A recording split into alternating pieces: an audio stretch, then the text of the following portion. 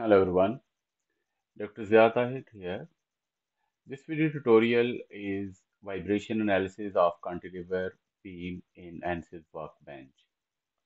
So modal analysis of a cantilever beam for natural frequency and mode shape is performed. So that is a cantilever beam. One end is fixed, other end is free. Its length is 16 inches or 0.4064.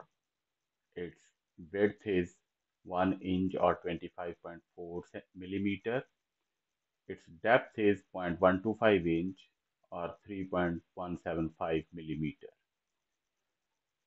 The modulus elasticity of steel beam is 210 gigapascal and Poisson's ratio is 0.3. The density of the beam is 7850 kilogram per meter cube. Requirement for this is to determine natural frequency and mode shape for first three modes of vibration and then compare numerical results with analytical results. So here are steps for modal analysis of cantilever beam. So first to start a model project, then add material, then select analysis type.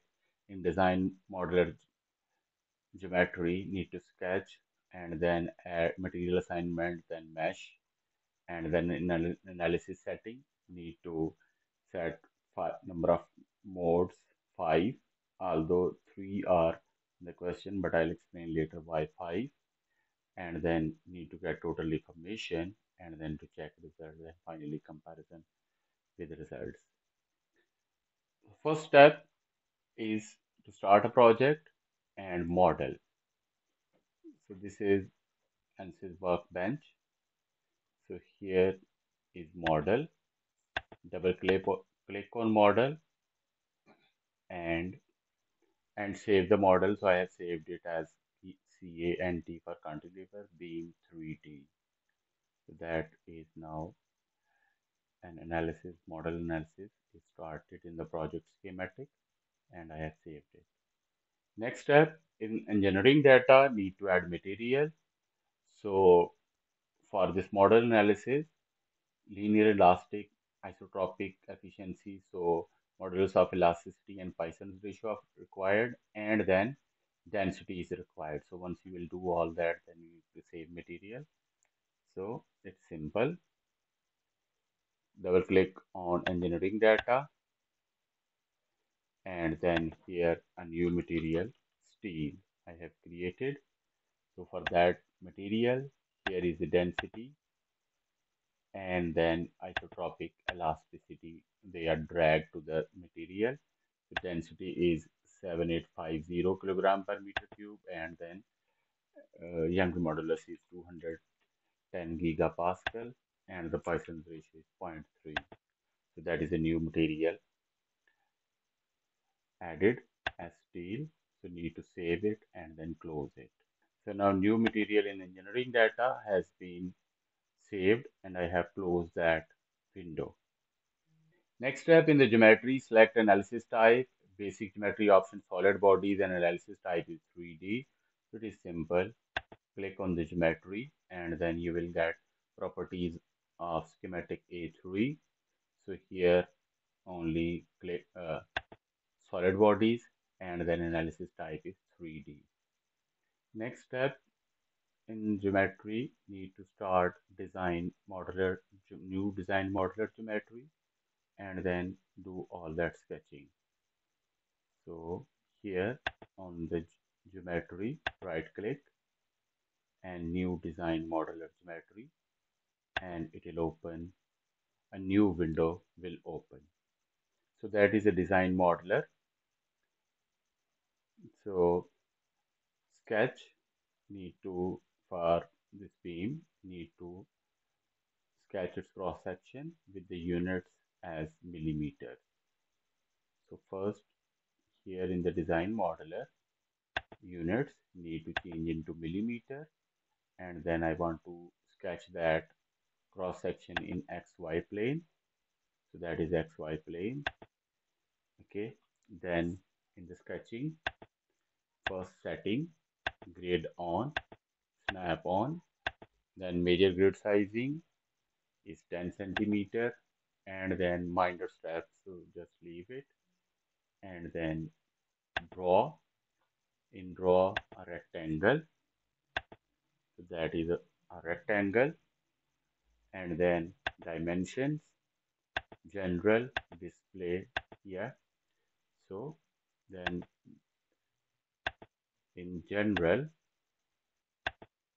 that is H1, that is V2. So H1 is 25.4 millimeter and its depth is 3.175 millimeter. So that is now sketch. So I want to make it symmetrical. I want to make it symmetrical about origin. So for that one, I need to go to constraint symmetry and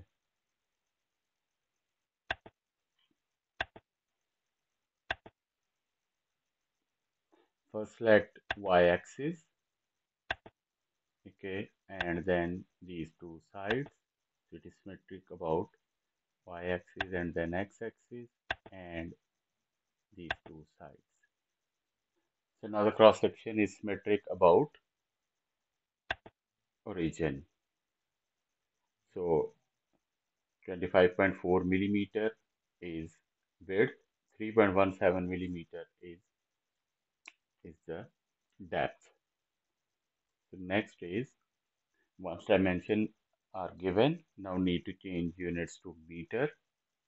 So units to meter and then extrude give it depth generate and then save model.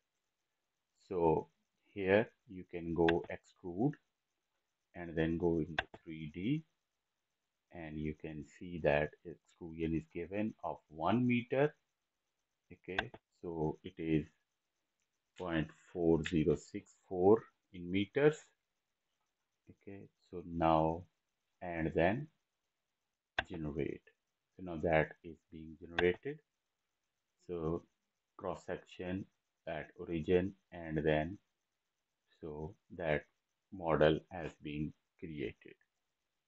Okay so generated and then need to save model. So once it is being generated then need to save it and then close that design. So now geometry has been created and geometry is saved next step is in the model. You need to open model. Okay so that is here. Double click on model. It will take some time to open. So now the model has been opened. This is and this is mechanical. And next four five six and seven steps they will be in this window. So the first one in the geometry need to go material and assign material and then change unit to the standard one. So in the geometry here is the material which is like a part which is solid and material assignment here. I have created that steel so that need to be assigned. Okay? And then you can change units so units are the standard ones okay? So units are standard or otherwise you can change units from here. Next step is mesh and for this case i'm using element size 2.5 millimeter and then generate. So here the next is mesh. Click on mesh and here is element size. This is default so change it to 2.5 e raised per 3 millimeter. And then here in the mesh generate. So now that mesh has been generated which is 2.5 into 10 to base per 3 or 2.5 millimeter. The next step is 5 setup. And in the model tab change analysis setting and maximum modes to find set as 5. So analysis setting and here in the options maximum modes to find that are 5 so they are changed to 5 so next in the model environment sports and fixed support need to apply so here in the model. Here are sports. So fixed support and I'm going to apply fixed support here. Just select face from here and then scoping method geometry selection apply. So now you can see there is a fixed support here. Next step in the solution need to add total deformation so this total deformation need to add to plot mod shapes. Otherwise if it is not being added so natural frequency will be calculated automatically.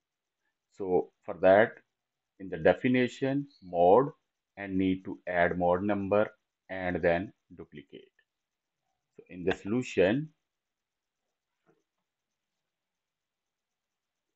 the solution deformation total. So total deformation click on it. And then here is a mod 1 so it can be changed from here. So I am going to rename that as total deformation mod mod 1 okay so you need to then duplicate it. So duplicate it for mod 2 and then need to change here mod 2 so that is for mod 1 here is that in the definition total information for mod 1 and then mod 2 so I have duplicated that uh, like five times. So that is mod 2 that is mod 3 then that is mod 4 that is mod 5 so next step is solve. So it's simple in the solution, just click solve and it will take some time to solve. So now the solution is ready. So next step in the results, need to find total deformation. So total deformation and in the total deformation then edges show undeformed model. So in the results here you can see that the frequency first mode second mode third fourth mode frequencies are there. And then this is first mode shape that is second that is third that is fourth and that is fifth. So i can go here on the in the results here edges show undeformed model. Okay in a wireframe form or you can select that undeformed model so that is mode 1 okay. So as a wireframe and that is mode 1 then that is mode 2 that is mode 3 so mode 2 is in YZ plane which is required. And so that is in mode 1 is in YZ plane, mod 2 also. Mod 3 is not in YZ plane, so mod 4 again is in YZ plane. So mod 3 is basically in XZ plane. So we are not going to consider. So in YZ plane, first frequency is 16.25, the second one is 1 01.2 and then the third one is 282 and that is the third mode. That is third mode okay? So that is a sine wave plus and a quarter. So that is a quarter wave. Mode 2 is a half three quarters wave okay so this is all now analysis results natural frequency more shapes it's all done and the last, need to compare results with analytical results. Mathematical equations or analytical uh, mathematical equations or analytical solution for this cantilever beam uh, that is solved using MATLAB and here are the that are the mode shapes and corresponding frequency. So the first mode frequency for the first mode is 16.06 Hertz, second mode is 100.6, third mode is 28 281.86 and the first mode is shown by a red line. So here in YZ plane, so that is the first mode okay and corresponding natural frequency is 16.125 so it is very much similar to